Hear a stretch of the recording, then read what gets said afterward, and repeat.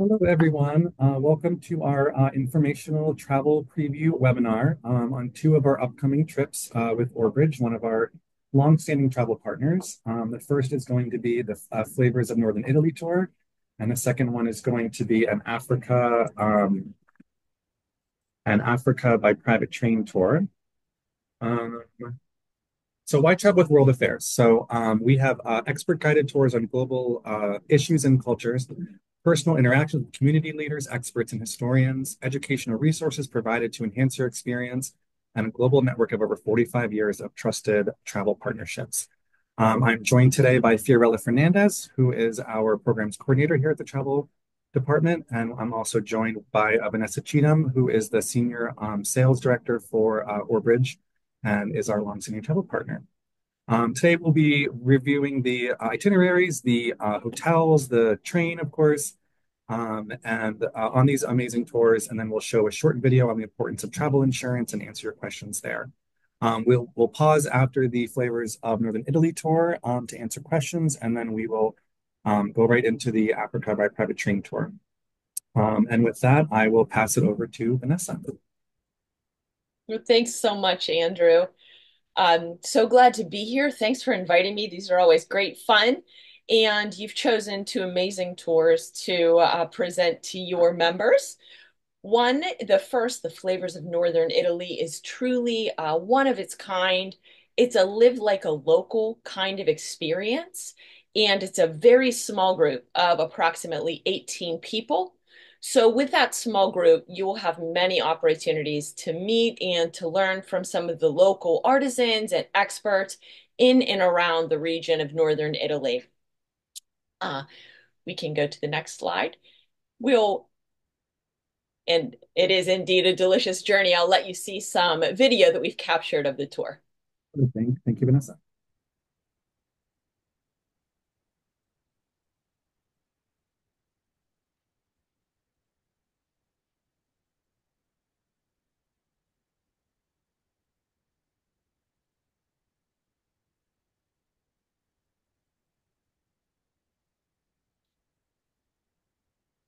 I think there may be uh, some issues with the audio, so I'll just narrate.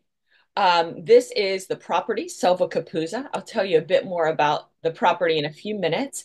This is Luca Formentini. He's the owner of the property and the vineyard on which it sits, and Luca will be our host for the week. It's truly a genuine Italian hospitality at its very, very best. And Luca, in this, uh, I, I hope you'll be able to see it uh, on the YouTube channel, but ultimately, Luke is telling you a bit about the vineyards that he runs and the award winning wine that he produces. And speaking of wine, uh, you will have opportunities to taste wine throughout this program at a variety of vineyards, including Selva Capuzza, uh, and also at Selva Capuzza, what the gentleman there is is presenting is all the olive oil that's also produced on site by Luca and his family. Uh, so we'll do an olive oil uh, tasting as well, and it is, uh, I think, probably the best I've ever had. It's definitely a treat. These are just some of the highlights of the tour. Again, we'll visit uh, the Valpolicella region and we spend time with Giuseppe Lonardi and his family. His daughter now runs the vineyard. Uh, but Giuseppe and his daughter, they introduce us to their winemaking process, which is completely different from Luca's, given the geography and the types of grapes that he's producing. So very interesting, uh, different nuances. And, and of course, we'll do a tasting there. Um, at Giuseppe's uh, winery. We also do uh, some risotto making there with Giuseppe and his chef, and uh, that's a lot of fun. Here's oh. Great, per perfect timing. I just mentioned the the Amarone infused risotto that we learn how to make um, in this massive, uh, quite quite old um, uh, cast iron pot. It's a lot of fun. We all contribute and then we taste and we have a lovely dinner together, a communal dinner. The communal dinners will definitely be part of uh, the experience throughout the week. There's lots of opportunities for us to gather together over very leisurely and delicious meals, uh, both at the property where there is a restaurant and also uh, out on many of our uh, interesting excursions that we'll experience together. Also, as you would guess, hopefully by the flavors title, we do have a little cooking included. This is not a cooking tour by any stretch, but there are uh, cooking classes. We'll have two of them in particular. So you will learn some local recipes like this. We'll do some pasta making. And we also typically on tour do a dessert making class. So, uh, you know, we've done a variety of desserts. Most recently, whenever I was there, I did a tiramisu, um, and it's a lot of fun. We've also made some lemon desserts, lots of fun on tour, uh, cooking together as well. But again, not a cooking tour. We have plenty of culture, history, uh, as well as the food and wine components on tour.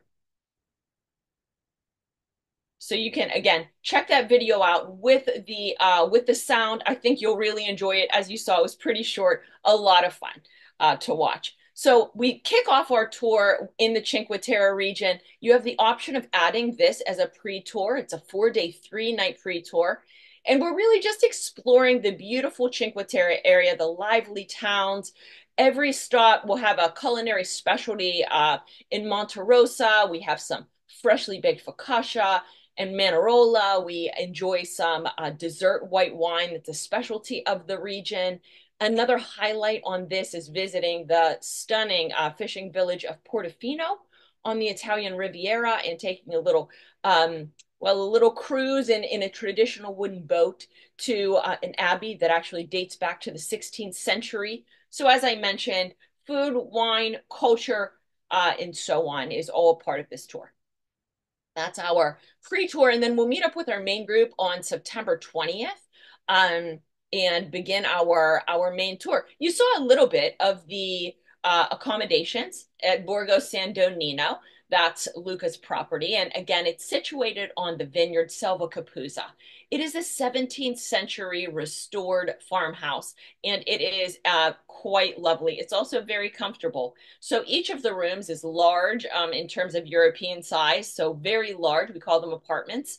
And, uh, you know, with some with lovely views, some with nice terraces that you can sit outside and enjoy. There is a swimming pool. Again, it is on Luca's uh, working vineyard and olive oil plantation as well. So each day we will stroll the grounds, we'll stroll through the vineyards and see many of uh, Luca's family and and uh, employees working, picking, harvesting, and so on, and learning more about the production of the various wines that Luca makes there at Selva Capuzza. It's a very special way to, you know, be fully immersed in this area in northern Italy and really get to see a local live and work and, and see Luca's pride in uh, what he creates. It's a special component of the tour for sure. Uh, moving right along, we'll um, I'll tell you just briefly about our main tour we arrive into Verona, Italy, which is, you know, the area in and around where we'll spend most of our time. We transfer to the property. This is on day two because you'll be flying from the US likely on day one. And then we settle into uh, our room. We have a lovely welcome dinner and a reception on the day, on the evening of day two, where we'll get to meet each other on day three, we'll um, depart for uh, Sulzano, which is a small, again, a small fishing village on the east shore of Lake d'Iseo, and and we'll embark on a lovely picturesque boat tour. Uh, this is a, a really fun area where we'll learn we'll, we'll, where we'll learn a bit about the fishing culture as well as some of the other areas that we'll visit where we'll learn about other you know um, food items that that are produced in that area we uh, will spend the afternoon at El Rocco, which is a vineyard that's um, managed by four share farmer families. So, a very interesting arrangement, business arrangement. And we learn more about how they work together and produce wine together. We have a guided cellar tour and then a tasting and lunch. In the evening, we head back to Selva Capuzza, where we enjoy uh, dinner at the local restaurant there. On day four, we're in Selva Capuzza. We spend most of the day at the property uh, and enjoying the property, enjoying the pool if you so choose. The weather for your tour should be great into September. It was very warm, and so people were still very much enjoying the pool and the area around the property. Uh, there's also uh, San Martino Tower, which is in walking distance of the property. And so that's always a nice exploration too of the local history of the region. On day five, we explore Verona, which is a UNESCO World Heritage Site. And yes, we do visit uh, Juliet's famed balcony. Don't worry, you'll get the photo op for sure.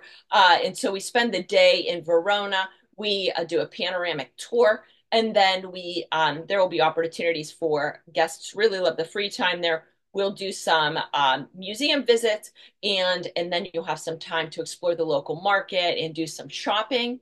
And then we head to Giuseppe Lonardi's, who I mentioned. Uh, he's the producer of the Amarone in Italy, and we'll be making uh, the risotto that evening together.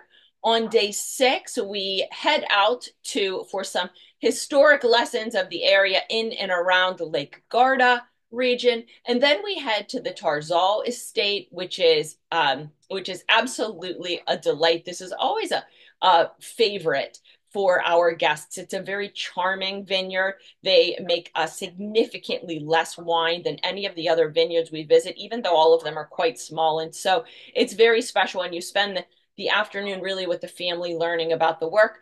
Uh, also doing a cheese tasting there. They also produce cheese. So it's a lovely way to taste some of their products. Uh, and then we uh, head to Malcesine along the shores of Lake Garda on day six. We'll have some shopping and we'll be able to enjoy that time around the lake together. We head to Modena on day seven, where we meet Simone. He produces award winning balsamic vinegar. And so Simone has been producing vinegar in his family for centuries. His family has been producing it for centuries. And uh, it really is, uh, this is maybe the guest favorite excursion. Uh, you'll do a tasting with Simone. You'll be able to see his workshop, which is also his home. And then his family prepares lunch for us, uh, which is exquisite. On day eight, we are heading into um, a, a, bit of farmland, and we're also visiting a local family run cheese shop in the Ronca uh, region. We'll do a cheese tasting. We'll learn about the production of the cheese, and then uh, and then we head out to do some touring of the local medieval town of Soave. Um, lots of history on uh, day eight. Finally, day nine, we say farewell to each other and we head home after we have the uh, transfer to the airport. We also will conclude, if you'd like to continue on, you can continue on on our Venice post tour. Of course, this is always a highlight. All of the programs include the transfers to and from the airport. I should mention that. And then, uh, of course, we'll transfer you to the post tour where you'll settle into a local uh, hotel, a lovely four star property right in Venice and walk able to walk and explore on your own quite a bit. We also have a guided city tour with a local historian, and we have a, a great gondola ride and experience uh, at the Gondola Museum of sorts as well. There's a guided vineyard tour uh, of that region, which offers a little bit of a different perspective on some of the wine in the Venice region of uh, Italy. Thank you so much, Vanessa. Are there any questions on the uh, flavors of Northern Italy before we move on to uh, the Africa by private train? all right. Well, I should have eaten lunch before um, doing this because now I'm really hungry. well, it's delicious food. You definitely will have lots of opportunities to try uh, many, many specialties on Northern Italy. Yeah, and you then won't come home hungry. Yeah, and then if you want to register for this event, I will pass over to Fiorella to talk about. Yes, wonderful. Thank you so much, Andrew. And thank you, Vanessa. Um, so my, again, my name is Fiorella. I'm the programs coordinator here at the World Affairs Council of Philadelphia. I will be your main point of contact for registering for these trips, or if you have any questions or concerns, or just want to know a little bit more about our itineraries, our accommodations, any of the things. So feel free to reach out to me by either calling or texting me at the number on the screen, 267-802-1252, or feel free to email me at travel at wacphila.org. In addition, you can visit our tour specific webpage that is on the link that you see below. So wacphila.org slash tour slash flavors of Northern Italy. And there you'll be able to find the brochure. You'll be able to find additional information. And also you'll be able to find the res reservation request form on Orbridge's fabulous co-branded website that they've created for us. Um, and there you'll be able to, you know, put in your registration or request, excuse me, and then they will follow up about next steps. But we are here for any of your questions. If you'd like a physical brochure, we're happy to send it to you. Just let me know. And wonderful. So moving on, Vanessa, why don't you tell us a little bit more about Africa by private train? Sure. This is a very popular program for us. It's uh, a bit larger than Northern Italy, but boy, oh boy, is it selling quickly. Uh, it is the African Expedition by Luxury Train. And on this tour, we're exploring four African countries, including Zimbabwe, Eswatini, Mozambique, and South Africa. And the journey includes both the notable cities and UNESCO World Heritage Sites, cultural excursions, and legendary national parks this has a little bit of something for everyone. Um, so it functions much like a river cruise in that we're going to travel by train at night to our next destination. We'll wake up for breakfast on board the train, and then we'll depart for our excursions throughout the day before returning to the train to freshen up for dinner and then have dinner on board. And I'll tell you a bit about the itinerary now we begin this tour with a Cape Town pre tour, if you like. It's a four day, three night pre tour uh, of Cape Town, which is at the southernmost tip of Africa. And it's separated from the rest of the continent by um, a beautiful ring of mountains. So, on this tour, we uh, have created, I think, an itinerary that hopefully will allow you to experience the natural beauty of Cape Town as well as the cultural and outdoor highlights that it offers.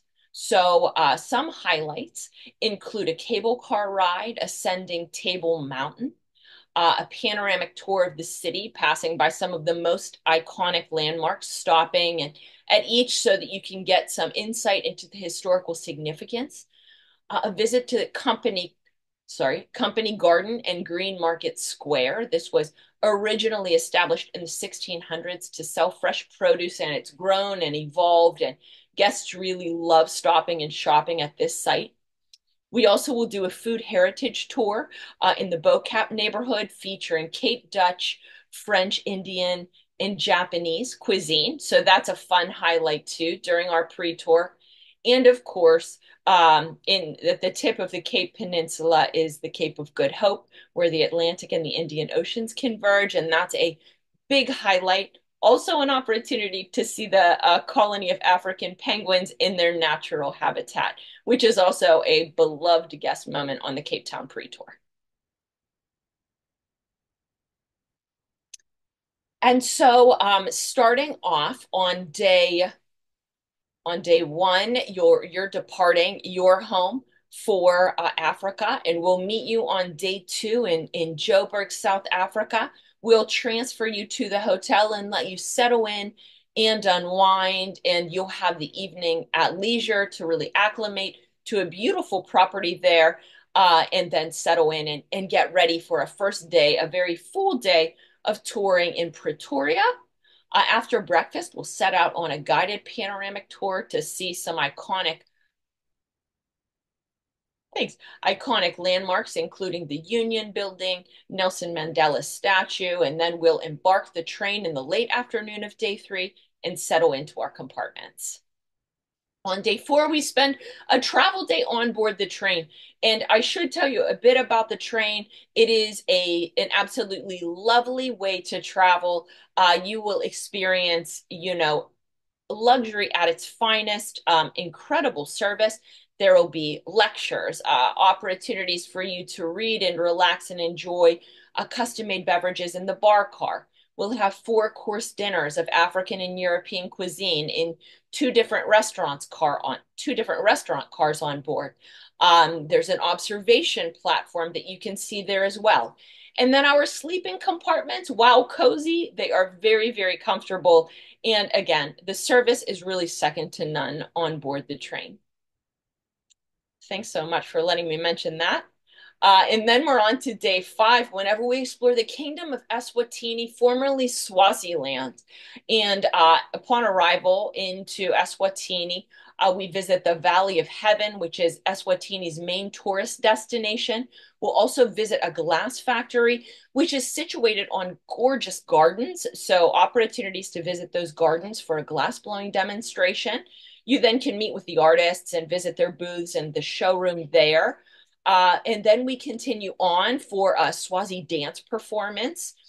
Finally, in Eswatini, we explore Pigs Peak, which is a town originally founded for its gold mining. Uh, prior to uh, that's a quite quite a full day of excursions prior to heading back to our train for dinner on board and settling in for a good night of sleep after covering a lot of ground. On day six, we'll disembark for a city tour of Maputo, the uh, lush capital of Mozambique.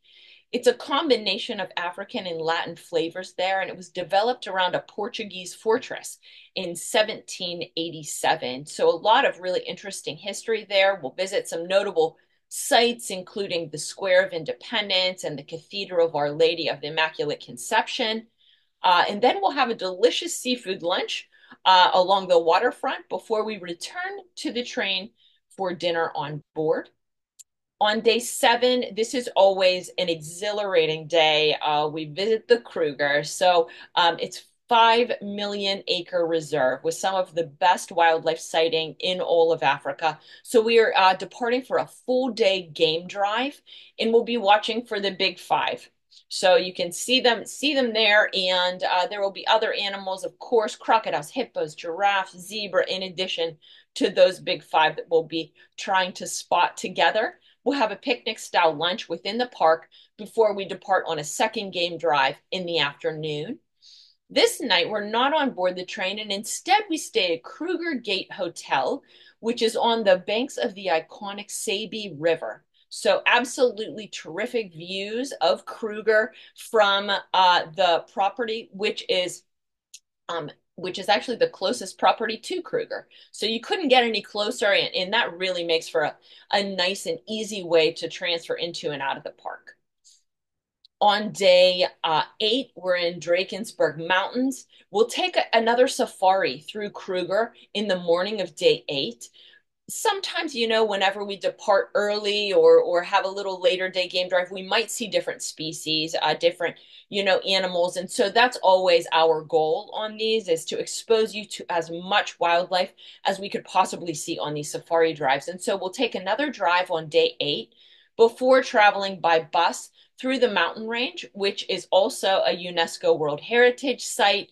And these mountains rise to over 11,000 feet uh, on board. So, you know, quite quite uh, a bit of elevation there. We return to the train on board and, and uh, enjoy dinner together on day eight. Again, we're settling into the train. Day nine, um, we're in Makalali uh, Game Reserve. And so this is a very diverse landscape than in Kruger. And this game reserve is known for its anti-poaching initiatives and conservation programs. So we will learn about many of their efforts to protect the endangered species and to preserve the ecosystem there. Uh, and also, of course, we're going to have a game drive there as well. The afternoon and evening of day nine are also on board the train as well. Day 10, we're continuing through um, the South the Soutpansberg mountain range and we head to into the lands of South Africa. We're heading towards Great Zimbabwe. So on board on day 10, we'll again have lectures, some leisure time. We'll do some tastings of some South African snacks as well as some South African wine. So there will be lots of opportunity, you know, on these days on board to have tastings, to have lectures, and to really enjoy time with each other and learning from our experts that, that are going to be leading us.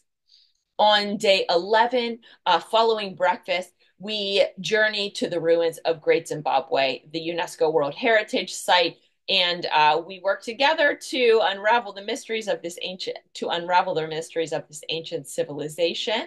Um, it of course lives on as one of the largest and most important archaeological sites of its kind in Africa, and so we spend the full day on day 11 um, exploring this site together.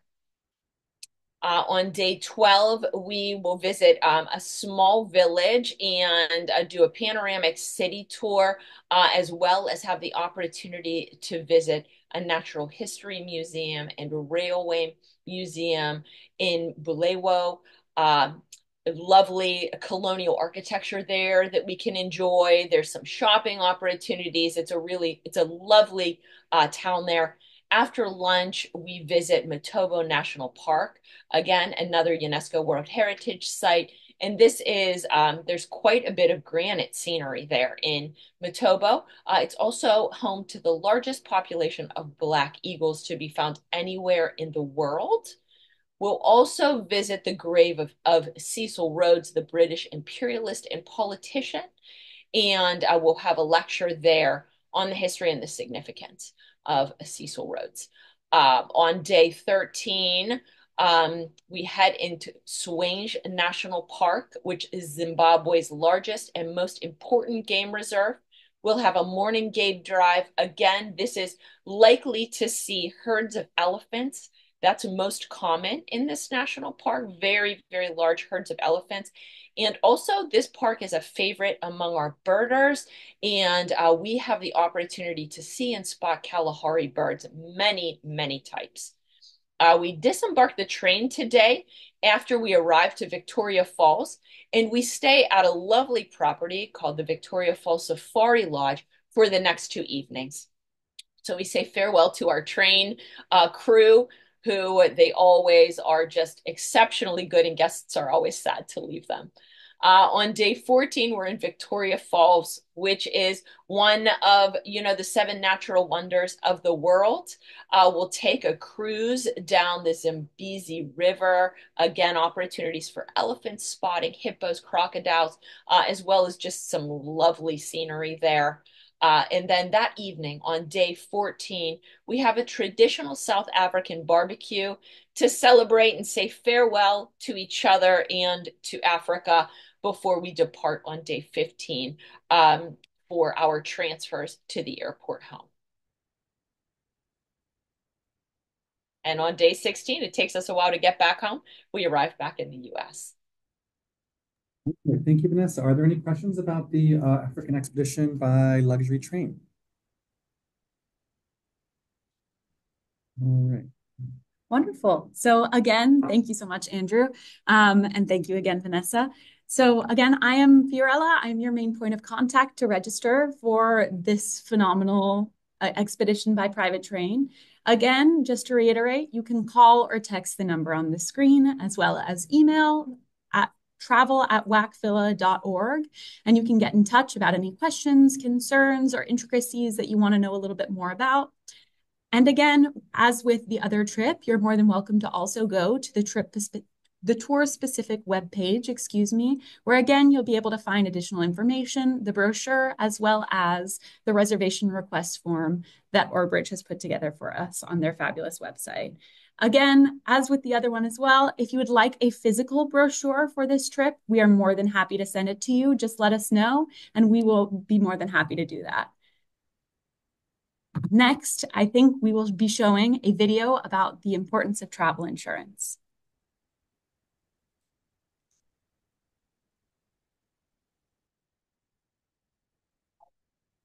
insurance products, including trip cancellation, global medical insurance, annual insurance, and medical evacuation coverage. Travel insurance can help you plan your next trip with peace of mind in case something goes wrong. We offer coverage in case you have to cancel your trip before you depart, plus coverage during your trip